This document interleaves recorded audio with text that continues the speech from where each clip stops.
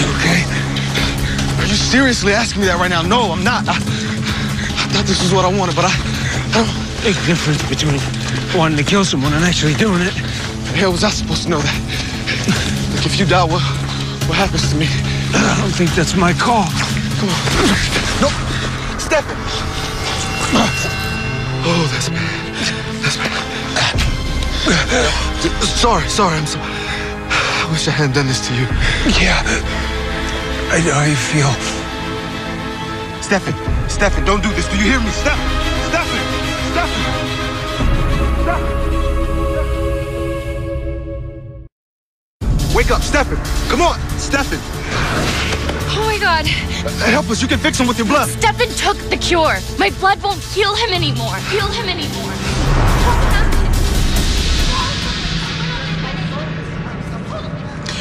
We meet again. I must admit, much sooner than I expected. What is this? Where am I? You're dying, Stefan.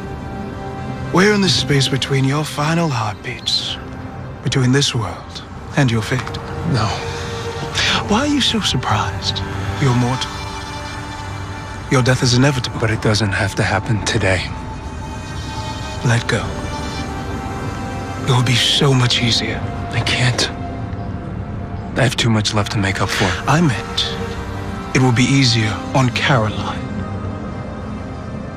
Have you even considered what your attempts at redemption will mean for her life? 50 years of following you around, of helping you grasp for a goal which you will never reach as you become old. A burden. You're destined for hell, Stefan. Why should she be? If you truly love Caroline, you will release her from this suffering and give her back the life she was meant to have. An immortal life. Without you.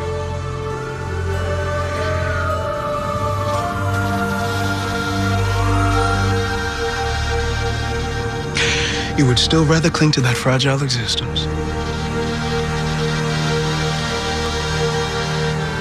I guess I'm stubborn. I want to live. Well, that's only human.